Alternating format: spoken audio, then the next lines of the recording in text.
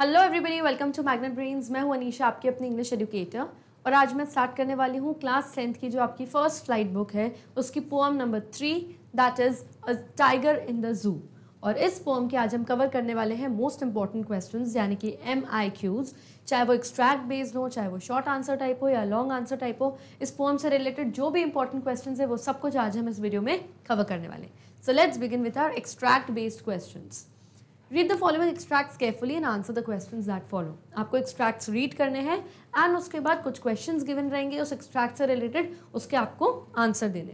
तो सबसे पहले फ़र्स्ट एक्सट्रैक्ट रीड करते हैं। He stalks in his vivid stripes, the few steps of his cage, on pads of velvet quiet, in his quiet rage. तो सबसे पहले कुछ इंपॉर्टेंट वर्ड्स हैं, उनके मीनिंग्स देख लेते हैं। स्टॉक्स का मतलब क्या होता है? To move slowly and quietly यहाँ पे टाइगर की बात करी जा रही है कि एक बेचारा टाइगर है, जो जू के पिंजरे में है और उस पिंजरे में वो स्टॉक कर रहा है। यानी चुपचाप इधर से उधर वॉक कर रहा है, क्योंकि पिंजरे में तो थोड़ी सी जगह होती है, कुछ स्टेप्स कुछ कदम चलने की जगह होती है, ज़्यादा होती नहीं है। तो वो टाइगर क्या कर रहा है? ही मतलब वो टाइगर को बोला गया है कि वो धीरे धीरे बेचारा चुपचाप उस केज के अंदर वॉक कर रहा है इन इज़ विविड स्ट्राइप्स और जो उसकी पूरी बॉडी पे, जो उसकी स्किन है, उस पर स्ट्राइप्स हैं, यानी धारियाँ हैं और वो जो स्ट्राइप्स हैं, वो कैसी हैं? विविड है, यानी कि बहुत क्लियर एंड ब्राइट अगर आप टाइगर को देखा हो अगर आपने रियल में, या अगर आपने उसकी स्किन अगर आप देखेंगे तो बहुत ब्राइट येलो कलर की उसकी पूरी स्किन होती है और उसके ऊपर ब्लैक कलर के स्ट्राइप्स होते हैं। जिससे टाइगर आपको अलग ही दिख जाएगा कहीं पर भी। पूरे जंगल में टाइगर जहाँ पर भी होगा, आपको अलग आते हुए दिख जाएगा because of his vivid stripes तो बताया जा रहा है कि जू का जो बेचारा टाइगर है, वो अपने केज अपने पिंजरे में बंद है। बेचारा वहीं वहीं धीरे धीरे वॉक कर रहा है, और उसकी जो स्ट्राइप्स है उसकी जो बॉडी है, उस पर जो धारियाँ हैं, वो बहुत ब्राइटली शाइन कर रही हैं। द फ्यू स्टेप्स इन इस केज जैसा कि मैंने आपको बताया, केज यानी पिंजरे में कुछ ही कदम वो चल सकता है क्योंकि केज के अंदर जगह ही नहीं होती इतनी। On pads of velvet quiet अब कहा जाता है कि जो टाइगर होता है, उसके जो पंजे होते हैं, उसके नीचे वेलवेट पैड्स लगे रहते हैं, जिसकी वजह से वो बहुत फास्ट रन कर सकता है या अपने प्रे यानी अपने शिकार को पकड़ सकता है। तो कहा जा रहा है कि वो बेचारा पैड्स ऑफ़ वेलवेट क्वाइट यानी जब टाइगर वॉक करता है तो उसके वेलवेट पैड्स की आवाज़ आती है, लेकिन वो उस केज में धीरे धीरे बेचारा वॉक कर रहा है और कुछ ही कदम बेचारा वॉक कर पा रहा है, जिसकी वजह से वो जो पैड्स की आवाज़ है वेलवेट पैड्स जो उसके पंजे, उसके क्लॉस के नीचे हैं, है ना? उसके पॉज के जो नीचे वो उसकी आवाज़ ही नहीं है, वो बिल्कुल क्वाइट है। इन इज़ क्वाइट रेज और रेज का मतलब होता है गुस्सा। Feeling of anger that is difficult to control आपको इतना गुस्सा आ रहा है कि जो कि आप कंट्रोल भी नहीं कर पा रहे हो। तो बताया जा रहा है कि बेचारे को अंदर ही अंदर गुस्सा भी आ रहा है कि मैं बाहर क्यों नहीं निकल पा रहा? मुझे फ्रीडम मुझे आज़ादी क्यों नहीं मिल पा रही? लेकिन फिर भी वो बेचारा क्वाइट है और रेज में, यानी गुस्सा तो है, लेकिन वो बिल्कुल चुपचाप बैठा है अपने गुस्से को काबू में कंट्रोल में रख के। क्योंकि उसको पता है, इस पिंजरे के अंदर गुस्से करने का और एंग्री होने का कोई फ़ायदा नहीं रह जाएगा इट्स यूजलेस ओके तो ये एक जू के टाइगर के बारे में बताया गया कि कैसी उसकी वहाँ पे कंडीशन होती है। Let's check few questions based on this extract. Complete the sentence. At present, the tiger is या at in the dash.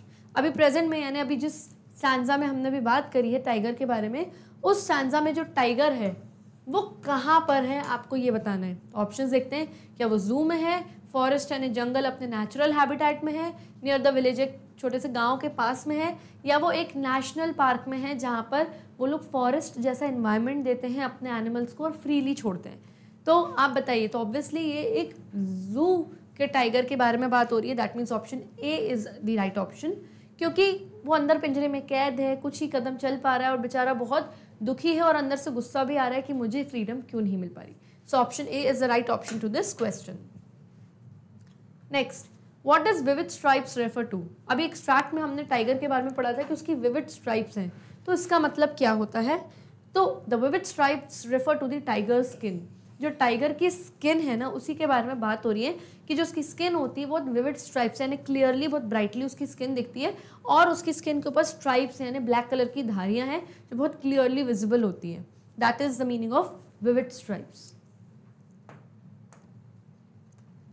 next why is the tiger in quiet rage quiet rage quiet मतलब शांत और raise मतलब गुस्सा, कि tiger को अंदर से गुस्सा तो आ रहा है, लेकिन वो फिर भी क्वाइट है, शांत है, चुपचाप है। तो why is the tiger in quiet rage कि टाइगर इतना शांत है, क्यों शांत है, जबकि उसको गुस्सा भी आ रहा है। तो why is he quiet so the answer is the tiger is in quiet rage because his freedom has been curtailed तो टाइगर इतने शांत गुस्से में भी इतना शांत इसीलिए है क्योंकि जो उसकी फ्रीडम है, जो उसकी आज़ादी है, उसको कर्टेल कर दिया गया है, यानी उसकी फ्रीडम को कम कर दिया गया है रिड्यूस और कह सकते हैं क्योंकि उसको पिंजरे में बंद कर दिया तो एक तरीके से उसकी फ्रीडम को ख़त्म ही कर दिया, क्योंकि वो सिर्फ़ अंदर कुछ कदम चल सकता है, चार से पाँच कदम चल सकता है और बेचारा वहीं बैठा रहेगा।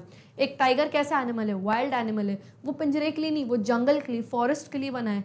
वो वहाँ पे चुपचाप दुखी होने के लिए नहीं बना है। वो अपना एंगर अपना जो स्ट्रॉन्ग अपनी स्ट्रेंथ है, वो दिखाने के लिए बना है। वो इस तरीके का एनिमल है। वो हमारा नेशनल एनिमल है यस तो बताया गया है कि वो बेचारा गुस्से, गुस्सा तो है उसको कि मुझे फ्रीडम नहीं है, लेकिन वो शांत है क्योंकि उसे पता है कि उसके गुस्से करने का कोई फ़ायदा नहीं रहेगा इस बंद पिंजरे में okay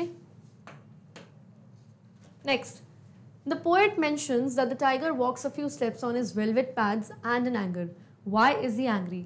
Extract में पोएट जो हमारे कवि हैं वो ये बताते हैं कि जो टाइगर है वो सिर्फ़ फ्यू स्टेप्स कुछ ही कदम चलता है किस पर अपने वेलवेट पैड्स पर और एंगर में यानी टाइगर के पॉज उसके पंजों के नीचे से वेलवेट पैड लगा रहता है जिसकी मदद से वो दौड़ता है भागता है अपने शिकार को पकड़ता है यस तो बताते हैं कि वो अपने वेलवेट पैड्स पे कुछ ही कदम चल रहा है उस केज में, लेकिन बहुत गुस्से में चल रहा है। Why is he angry why is the tiger angry बताना है हमें उसके गुस्से का reason so the answer is the tiger is imprisoned in a cage जो टाइगर है, उसको एक केज में, एक पिंजरे में इम्प्रेजेंट कर लिया है, यानी मानो मानो क्या यानी मतलब कैद ही करके रख लिया है। He can not move around freely even strength is useless और उस पिंज, कैद पिंजरे के में जो कैद है, वो वो फ्रीली यानी आज़ादी से मूव यानी वॉक भी नहीं कर पा रहा है जिसकी वजह से जो उस टाइगर की स्ट्रेंथ है जो उसकी ताकत है क्योंकि tiger is known for strength वो भी यूजलेस है यानी किसी काम की नहीं है। उसकी ताकत को एक पिंजरे में मानो जैसे कैद करके रख लिया है। His situation makes him angry, but he remains quiet and walks slowly because he is helpless in this situation. तो ये जो सिचुएशन है उसकी कि वो पिंजरे में कैद है चाह के भी अपनी ताकत का यूज़ नहीं कर पा रहा गुस्सा भी नहीं दिखा रहा पा रहा इस वजह से उसको बहुत गुस्सा आ रहा है। अंदर से उसको बहुत एंग्री फील हो रहा है लेकिन फिर भी वो क्वाइट यानी चुपचाप रहता है और स्लोली धीरे धीरे अपने ही पिंजरे में वॉक करता है क्योंकि वो बेचारा हेल्पलेस है कमज़ोर है। यस yes, उसकी कोई मदद करने के लिए नहीं आएगा उसको मालूम है। और इस सिचुएशन में इसलिए वो गुस्सा भी नहीं दिखा रहा लेकिन चुपचाप बैठा हुआ है बस। यहाँ पे हमारा फ़र्स्ट एक्सट्रैक्ट कंप्लीट होता है। Now let's check our second extract from this poem which is an important one he should be snarling around houses at the jungle's edge, bearing his white fangs, his claws, terrorizing the village. तो बताया जा रहा है सबसे पहले कुछ meanings देख लेते हैं फिर एक्सप्लेन करती हूँ मैं। स्नालिंग का मीनिंग क्या है? To make angry sound while showing teeth जैसे टाइगर घुर्राता है ना स्नाल करता है यानी गुस्से की घुर्राने की आवाज़ और साथ में अपने टीथ अपने बिग बिग शार्प टीथ दिखाता है उसे हम कहते हैं स्नालिंग बेरिंग का मतलब क्या होता है? टू अनकवर जब आप किसी चीज़ को अनकवर करते हो, यानी खोलते हो, जब टाइगर अपना मुँह खोलता है तो उसके जो दांत हैं अंदर शार्प टीथ हैं, वो अनकवर हो जाते हैं, यानी क्लियरली लोगों को दिखते हैं। और फैंग्स का मतलब क्या होता है? लॉन्ग शार्प टीथ यानी लंबे लंबे शार्प नुकीले दांत। और वो टाइगर के फैंग्स होते हैं तो उसी को हम फैंग्स कहते हैं। तो यहाँ बताया जा रहा है कि जो टाइगर बेचारा जू में है, परेशान है कैद है उस पिंजरे में और उसकी फ्रीडम उसकी आज़ादी जैसे मानो कैद हो गई है। तो बताया जा रहा है कि उसे कहाँ होना चाहिए? उस, उसकी जगह वो पिंजरा नहीं है। He should be snarling around the houses वो बताया जा रहा है कि गाँव के पास में जो जंगल है तो गाँव के जो घर हैं उसके आसपास टाइगर तो एक ऐसा एनिमल है कि वो वहाँ निकले अपने फैंस अपने टीथ दिखाए लोगों को डराए। मे बी इसलिए क्योंकि लोगों ने शायद जंगल का एरिया ले लिया है। यस yes, अपने गाँव बना लिया, अपना विलेज बसा लिया, इसलिए टाइगर उन पर अटैक करने की कोशिश कर रहा है। तो बताया जा रहा है कि टाइगर की वो जगह नहीं है। टाइगर तो जंगल के पास में जो गाँव है, घर है, वहाँ जाए घुर्राए अपनी स्ट्रेंथ दिखाए, अपने फैंग्स अपने टीथ दिखाए, लंबे लंबे दांत दिखाए, अपने क्लॉज यानी अपने नुकीले पंजे जिसमें नाखून है, खतरनाक वाले, वो दिखाए। टेरराइजिंग द विलेज और गाँव को टेरराइज करें डरा के रखे। लोग, गाँव के लोग डरते हैं ना, अरे, पास में शेर आ जाएगा, बाघ आ जाएगा। यस हम बोलते हैं ना। तो वही चीज़ है कि ये तो ऐसा एनिमल है जिससे लोग डरते हैं। गाँव वाले डरते हैं दूसरी दुनिया के लोग डरते हैं। ना कि वो ऐसा एनिमल है एक टाइगर की जिसको आप पिंजरे में बंद कर दो और लोग उसको परेशान करें टीज करें बेचारा चुपचाप अपनी ताकत को कैद करके अंदर बैठा हुआ है। Yes Now let's check the answers and questions based on this extract. First question, why does a tiger snarl? ये जो टाइगर है वो स्नाल क्यों करता है? यानी घुर्राता क्यों है अपने दांत दिखा के? ऑप्शंस हैं. A to show his anger अपना गुस्सा दिखाने के लिए. बी फीलिंग हेल्पलेस वो यहाँ पर बहुत हेल्पलेस फील कर रहा है, यानी उसकी कोई मदद करने के लिए नहीं है, सबको पता है तो वो बहुत हेल्पलेस फील कर रहा है. C wants to run away उसको यहाँ से भागना है, या D both A and B according to me of course क्योंकि कोई भी एनिमल स्नाल यानी घुर्राता कब है, जब वो गुस्से में आता है. लेकिन इस सिचुएशन में वो बहुत हेल्पलेस भी फील कर रहा है, इसलिए वो गुस्से में घुर्रा रहा है. तो हम कह सकते हैं कि उसको भागना भी है तो हम ये तीनों तो ले नहीं सकते but yes option one and two यानी ए एंड बी सही है which means together option D is the right option कि येस उसको अपना, उसको गुस्सा भी आ रहा है और उसको वहाँ से उसको हेल्पलेस फील कर रहा है। Yes yes? तो option number D is the right option to this question next how does the tiger show his presence tiger अपनी प्रेजेंस कैसे शो करता है कि यस मैं यहाँ पे प्रेजेंट हूँ, मैं हूँ, यहाँ पे मौजूद हूँ? The tiger shows his presence by baring teeth and claws baring teeth and claws and by growling तो जब टाइगर को बताना रहता है, दर्शाना रहता है लोगों को कि हाँ मैं यहाँ पे प्रेजेंट हूँ तो ही बेयर्स हिज टीथ यानी अपने दांत दिखाता है, अपने क्लॉज यानी अपने पंजे दिखाता है, नुकीले दांत और नाखून दिखाता है एंड बाई ग्राउलिंग यानी घुर्राता है। तो टाइगर का साउंड हमको दूर से भी सुनाई दे देता है कि यार, ये तो टाइगर की आवाज़ है। और धीरे धीरे जब उसकी फॉरेस्ट में चलने का जो साउंड होता है, उसके पंजों का, उसके वेलवेटी पैट्स का तो वो सब हमें दूर से सुनाई दे देता है कि यार, आसपास ऐसा लग रहा है टाइगर है। टाइगर की ग्राउलिंग का साउंड बहुत डेंजरस और बहुत दूर से सुनाई दे दिया जाता है। तो इस तरीके से टाइगर अपनी प्रेजेंस शो करता है लोगों को कि हाँ मैं कहीं आसपास मौजूद हूँ। Next why does the poet think that the tiger should be snarling around houses poet को ऐसा क्यों लगता है कि टाइगर को केज भी नहीं होना चाहिए, बल्कि गाँव के पास में जो हाउसेज हैं गाँव में, वहाँ पे स्नाल करना चाहिए, यानी गुर्राना चाहिए, लोगों को डराना चाहिए यस अपने टीथ अपने फैंग्स अपने क्लॉज नाखून दिखाने चाहिए, घरों के पास जाके। ऐसा करना चाहिए टाइगर को। तो पोएट को ऐसा क्यों लगता है? So the answer is the poet thinks that the tiger should be in the jungle hiding in the shadow like the wild animal he is He thinks that a tiger should move around quietly in the long grass near the water hole to prey on deer and should go around the outskirts of the jungle, growling around houses and terrifying the villagers. तो इसका मतलब यह है कि poet ऐसा सोचते हैं कि टाइगर को जंगल में होना चाहिए ना कि किसी पिंजरे या केज में उसको तो जंगल में होना चाहिए और किसी शैडो में छुपे हुए रहना चाहिए जैसे कि वाइल्ड एनिमल वो है जिस तरह का जंगली जानवर वो वाइल्ड एनिमल है, उसे केज में नहीं, बल्कि उसे तो जंगल में होना चाहिए। और टाइगर यूजुअली लॉन्ग ग्रासेस लंबी लंबी ग्रासेस के बीच में छुपा हुआ रहता है, किसी वाटर होल के पास में। वाटर होल यानी वो एरिया जंगल का, जहाँ पे सारे एनिमल्स पानी पीने आते हैं। तो डजेंट मैटर वो टाइगर आ रहा है कि डियर आ रहा है। जितने एनिमल्स हैं, वो वाटर होल पे पानी पीने आते हैं। तो टपोएट कहते हैं कि टाइगर को तो वहाँ होना चाहिए लॉन्ग ग्रासेस के पीछे किसी शेडो में छुपा होना चाहिए। और जैसे ही उसका प्रे यानी उसका शिकार डियर आए सामने से यस, एक हिरन आए तो उसको तो निकल के उसके ऊपर अपनी ताकत दिखा के उसको पकड़ लेना चाहिए, यानी कि उस पर अटैक करके उसको खा लेना चाहिए, अपना पेट भरना चाहिए। टाइगर इस तरीके का एनिमल है, भगवान ने उसको नेचुरल इंस्टिंक्ट उसका हैबिटेट ही ऐसा बनाया ना कि किसी पिंजरे में कैद होना चाहिए। और टाइगर को तो जंगल के आउटस्कर्ट्स यानी और जंगल के बाहर निकलना चाहिए, और जहाँ पर गाँव है छोटे छोटे घर हैं, वहाँ पे निकलना चाहिए ग्राउल यानी गुर्राना चाहिए और विलेजर्स यानी गाँव वालों को डराना चाहिए क्योंकि यही टाइगर करता है यही टाइगर टाइगर ऐसा ही भगवान ने उसे बनाया है और यही उसकी नेचुरल इंस्टिंक्ट है। Yes yes? इसी तरीका का वो एनिमल है ना कि ऐसा एनिमल कि जिसको पिंजरे में कैद करके रख दो। सो so, इसीलिए पोइट को लगता है कि उसको ये करना चाहिए ना कि किसी पिंजरे में कैद होना चाहिए। Next fill in the blank with one word यहाँ पे एक सेंटेंस गिवन है और सेंटेंस में यहाँ पर ब्लैंक है। आपको यहाँ पे एक वर्ड फिल करके सेंटेंस फिल करना है कंप्लीट करना है।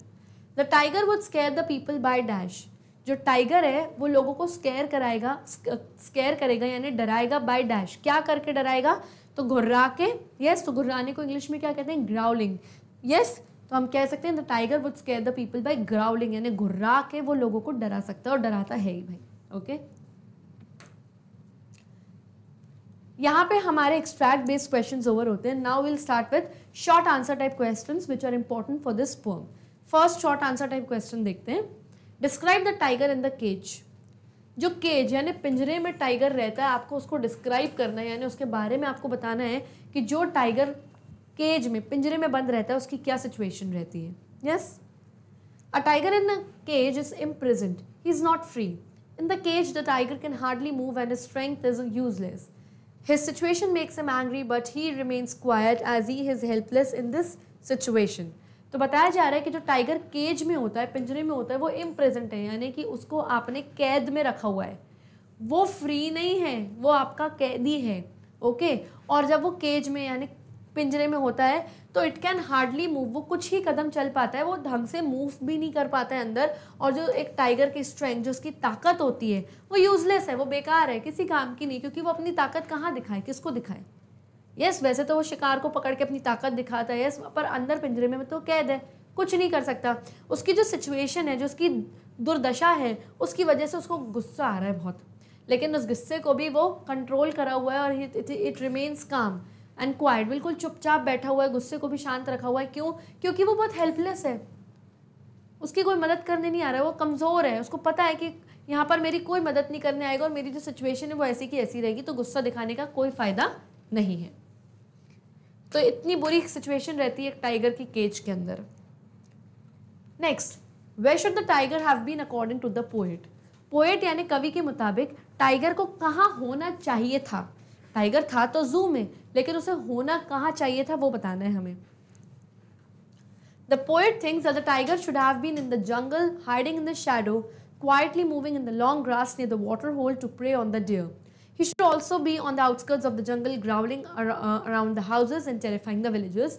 वही चीज़ बताइए कि, कि tiger should have been in the jungle जो टाइगर है उसको केज में नहीं बल्कि किसी जंगल में होना चाहिए जैसे टाइगर किसी शैडो किसी बड़ी लॉन्ग ग्रास या किसी परछाई के पीछे छुप जाता है वैसा वो छुप जाए क्वाइटली मूव करे बड़ी बड़ी लॉन्ग ग्रासेस के बीच में से और वाटर होल की तरफ़ जब कोई डियर पानी पीने आए तो उस डियर को अपना प्रे बना ले, यानी अपना शिकार बना के पकड़ के खाना खाए, अपना पेट भरे, क्योंकि एक टाइगर इसी तरीके से अपना खाना खाता है और पकड़ता है। उसको तो जंगल के आउटस्कर्ट्स में बाहर निकलना चाहिए, थोड़ा जहाँ पे गाँव शुरू हो जाता है और वहाँ पे जो आसपास के घर हैं और जो विलेजर्स यानी गाँव वाले हैं, उसको वहाँ पे उसको टेरिफाई करना चाहिए, डराना चाहिए ग्राउल करना चाहिए, घुर्राना चाहिए, जिस तरीके से एक नॉर्मल टाइगर करता है, जिस तरीके से वो एक एनिमल है, उसी तरीके से उसको बिहेव करना चाहिए। ना कि उसे एक जू में, एक केज में रख देना चाहिए, जहाँ पर उसकी कोई ताकत नहीं है, उसका कोई वजूद ही नहीं बचा okay next why do think the tiger looks at the stars poem के एंड में बताया जा रहा है कि टाइगर जो है आखिरी में रात हो जाती है, ऊपर स्टार्स की तरफ़ देखता है। तो आपको ऐसा क्यों लगता है कि टाइगर स्टार्स की तरफ़ देख रहा है और वो क्यों देख रहा है? आखिर उसको स्टार्स में ऐसा क्या दिखाई दे रहा है? The tiger says with hope at the brilliant stars trailing in the sky as he feels very hopeless helpless in the cage He hopes for the day when he would be able to run free in the wild. The brilliant stars thus provide him with some sort of hope. तो जो tiger है, वो stairs यानी घूर घूर कर stars को brilliant stars यानी चमकते हुए तारों को इसीलिए देखता है रात में क्योंकि वो हेल्पलेस फील कर रहा है उस केज में। बेचारा ऐसे देख रहा है क्योंकि वो, उसको ऐसा लग रहा है मतलब मेरी कोई मदद नहीं हो सकती। मैं इस पिंजरे में कैद हूँ, बहुत हेल्पलेस हूँ, बहुत कमज़ोर हूँ, मेरी मैं कुछ नहीं कर सकता। वो होप करता है, वो उम्मीद करता है कि शायद एक दिन ऐसा भी आएगा कि मैं भी फ्रीली आराम से दौड़ पाऊँगा वाइल्ड में वाइल्ड यानी कि वाइल्ड एरिया जंगल कह सकते हैं या फिर फॉरेस्ट जो भी आप कहें। तो वो उम्मीद करते हैं कि कभी मैं भी जंगल में या फॉरेस्ट में फ्रीली दौड़ूँगा, भागूँगा और अपनी लाइफ जीऊँगा। जो ब्रिलियंट स्टार्स यानी कि जो चमकते हुए, टिमटिमाते हुए जो तारे हैं, वो कहीं ना कहीं शायद कुछ तरीके का सम सॉर्ट ऑफ़ यानी शायद कुछ तरीके का होप या कह सकते हो उम्मीद की किरण दे रहे हैं टाइगर को। टाइगर बहुत सैड तरीके से देख रहा है हेल्पलेस है, लेकिन कहीं ना कहीं वो ता चमचमाते तारों को देखकर उसको एक क्या मिल रही है? एक उम्मीद, एक होप मिल रही है कि शायद एक दिन मैं भी इस पिंजरे के बाहर आऊँगा और दौड़ लगाऊँगा फ्रीली अपने जंगल में मूव करूँगा, भागूँगा ओके यहाँ पर हमारे शॉर्ट आंसर टाइप क्वेश्चंस खत्म होते हैं। Now let's check some long answer type questions which are important for this poem question number one love for freedom is a natural instinct of every living being comment बताया जा रहा है कि love for freedom यानी अपनी आज़ादी के लिए जो प्यार होता है, ये एक नेचुरल चीज़ है हर लिविंग बींग के लिए। हर लिविंग बींग चाहे वो इंसान हो एनिमल हो, जानवर हो बर्ड हो फ़िश हो, कोई भी लिविंग बींग हो, जीता जागता जो भी प्राणी है, उसके लिए उसकी फ्रीडम उसकी आज़ादी सबसे प्यारी है। उसको सिर्फ़ अपनी आज़ादी से सबसे ज़्यादा प्यार है। चाहे कोई भी हो, हम ह्यूमन्स हों एनिमल्स हों, कोई भी हो, आपको कमेंट करना है, यानी इस स्टेटमेंट को एलैबोरेट करना है पोअम को ध्यान में रखते हुए। Okay, let's check the answer. It is true that love for freedom is the natural instinct of every living being in this universe. Freedom is liked by every living being. No one wants to live as a slave or in captivity. तो बताया जा रहा है कि ये बात true ये बात सच है कि जो आज़ादी का आज़ादी के लिए जो प्यार है यानी खुद की आज़ादी के लिए जो प्यार है ये हर एक लिविंग बींग की एक नेचुरल इंस्टिंक्ट है यानी कि स्वाभाविक प्रवृत्ति है नेचुरल है कि सबको अपनी आज़ादी चाहिए सबको आपको चार घंटे के लिए अगर मैं कमरे में बंद कर दूँ तो आप पागल हो जाओगे। हमारा दिमाग उस टाइम आउट ऑफ़ कंट्रोल हो जाता है, हम गुस्से में आने लगते हैं। हमें लगता है बस निकले यहाँ से बाहर इन एनी कंडीशन यस तो इस पूरे यूनिवर्स इस पूरे ब्रह्मांड में हर एक लिविंग बींग को अपनी फ्रीडम अपनी आज़ादी प्यारी है। फ्रीडम तो सभी लिविंग बींग्स को पसंद है, चाहे वो इंसान हो या एनिमल्स हो। किसी को भी स्लेव यानी एक गुलाम की तरह किसी के अंडर रह के काम करना कभी भी कोई भी नहीं चाहता कि हम ऐसी लाइफ जिए, या फिर कोई नहीं चाहता कि हम कैप्टिविटी में जिए। कैप्टिविटी मतलब kept in a place that you can not escape from अगर आपको किसी ऐसी जगह रख दिया जाए जहाँ से आप कभी भाग ना पाओ, वहीं रहना पड़ेगा आपको लाइफ टाइम तो कोई भी नहीं चाहता कि किसी को ऐसी लाइफ जीनी पड़े। The tiger in this poem has been kept in a cage he feels helpless and yearns for freedom he could neither rest or walk freely while in the cage तो जो टाइगर इस pome में बताया गया है, उसको एक cage एक पिंजरे में रखा गया है जू में। वो बेचारा बहुत हेल्पलेस फील कर रहा है, यानी बेचारा बहुत कमज़ोर फील कर रहा है कि मैं कुछ नहीं कर सकता। और वो अपनी फ्रीडम अपनी आज़ादी के लिए यर्न कर रहा है, यानी बहुत बुरी तरीके से जब जब हमें कोई चीज़ चाहिए रहती नहीं कि नहीं, मुझे चाहिए ही चाहिए, उसे हम कहते हैं यर्न करना। तो वो अपनी आज़ादी के लिए यर्न कर रहा है कि मुझे किसी भी कंडीशन में बस अपनी आज़ादी, अपना फ्रीडम चाहिए। और वो बेचारा उस बंद पिंजरे में ना तो रेस्ट कर पा रहा है ना ही कोई आराम कर पा रहा है, ना ही फ्रीली वॉक कर पा रहा है। मतलब चलने की भी उस बेचारे को कोई जगह नहीं है, यानी वो कैद है उस पिंजरे में। He ignores visitors as he knows that none of them will help him to be a free being zoo में जो भी विजिटर्स जो भी लोग उसको देखने आते हैं, वो उनकी तरफ़ देख भी नहीं रहा, उनको इग्नोर कर रहा है, क्योंकि पता है उसे कि इनमें से कोई भी लोग मेरी मदद नहीं कर पाएँगे, मुझे यहाँ से फ्री नहीं करा पाएँगे। How could he be happy living in the cramped space where there is no space to move, no open area, no prey to stalk and kill as is available in the natural habitat. तो कोई living being यानी इंसान हो या animal हो कोई कैसे खुश हो सकता है उस क्रैम्पड क्रैम्प्ड स्पेस में? यानी कि एक ऐसी जगह जहाँ पे इनफ स्पेस नहीं है पर्याप्त जगह ही नहीं है जहाँ पे। तो बेचारा वॉक भी नहीं कर पा रहा तो बेचारा वहाँ पे ना वॉक कर पा रहा है ना मूव कर पा रहा है। कोई ओपन एरिया नहीं है उस उस केज उस पिंजरे के अंदर। वहाँ पर कोई प्रे यानी कोई शिकार नहीं कि जिसको पकड़ के मार के उसको खा पाए एक टाइगर जो कि सब अवेलेबल रहता है उसके नेचुरल हैबिटेट जंगल में। क्योंकि इसी तरीके का एनिमल वो है, भगवान ने उसे ऐसा ही बनाया है। His wistful stare of the shining stars in the sky reflects his desire to be free wistful का मतलब क्या होता है? शोइंग सैडनेस जब इंसान बहुत सैड होता है, बहुत दुखी होता है, जिसकी आँखों में दुख झलक रहा होता है। तो जिस तरीके से वो अपनी आँखें ऊपर करके टिमटमाते हुए तारों को देखता है तो और घूरता है तो उससे ये ज़रूर समझ में आता है कि वो, उसके अंदर ये डिज़ायर है, एक इच्छा है कि मैं फ्री हो जाऊँ।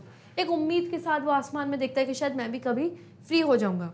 We as human beings to allow freedom to all other creatures and every one deserves for freedom तो बताया जा रहा है कि हम, इंसान होने के नाते हमें खुद की फ्रीडम तो प्यारी है तो हमें दूसरों को भी फ्रीडम देना चाहिए सारे क्रीचर्स कुछ लोग, मैं किसी पे कमेंट नहीं करी बट कुछ लोग बर्ड्स को भी पिंजरे में रख देते हैं। मुझे ऐसा लगता है उनको भगवान ने पंख दिए हैं उड़ने के लिए, खुले आसमान में उड़ने के लिए, उनको पिंजरे में कैद कर कर, मुझे ऐसा लगता है शायद उनकी आज़ादी छीन के हम पाप के पात्र बन रहे हैं। हम, हमको सिन लग रहा है यस yes, तो हम इंसान होने के नाते सारे क्रीचर्स जो हमारे आसपास हैं उनको फ्री छोड़ दें।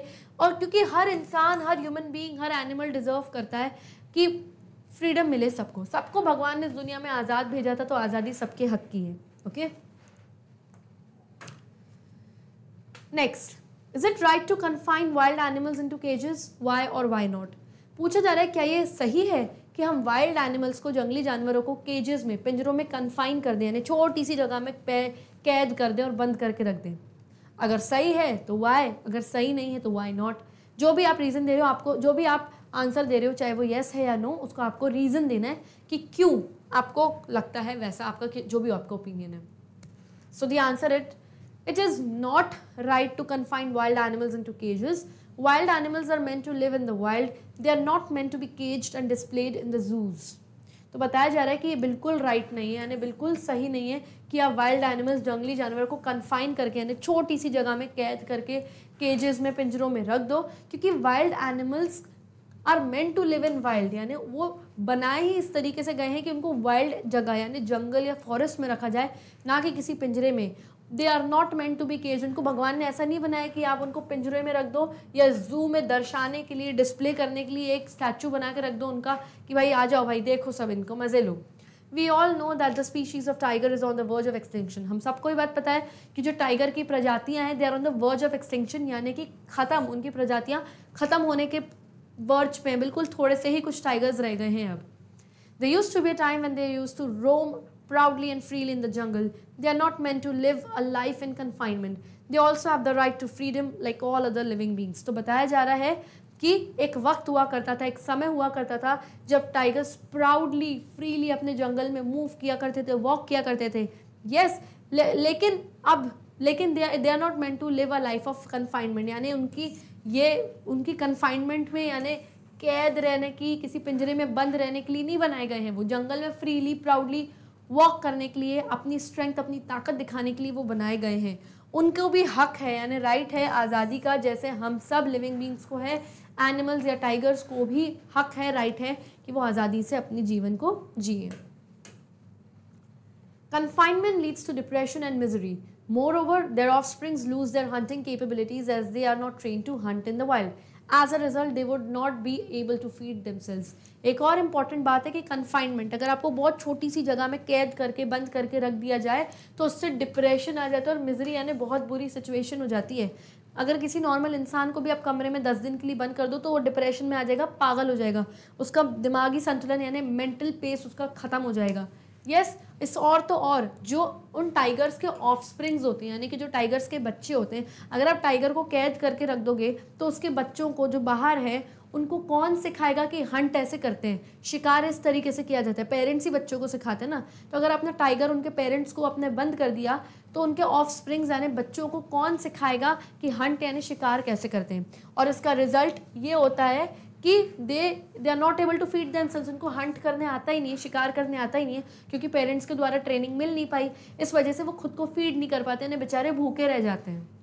Furthermore, confining wild animals disturbs the whole ecological balance. और तो और confining अगर आप wild animals को confine कर रहे हो यानी उनको छोटे से पिंजरों में छोटी सी जगह में कैद करके रख रहे हो तो इससे पूरा ecological balance disturb हो जाता है क्योंकि animals का environment में जंगल में होना बहुत ज़रूरी है पूरी फ़ूड चेन को मेंटेन करने के लिए बैलेंस करने के लिए एक भी एनिमल उसमें से गायब हुआ एक भी एनिमल की स्पीशीज़ उसमें से गायब हुई तो पूरा इकोलॉजिकल बैलेंस डिस्टर्ब हो जाएगा okay okay?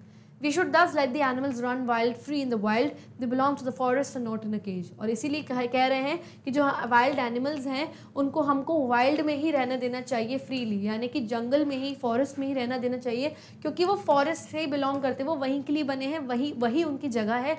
ना कि कोई केज या ना कि कोई पिंजरा जहाँ पे उनकी आज़ादी उनकी ताकत को कैद करके रख लिया जाए। यस yes, क्योंकि फ्रीडम इज़ एवरीबडीज़ राइट सबका हक है फ्रीडम लेना। Okay okay?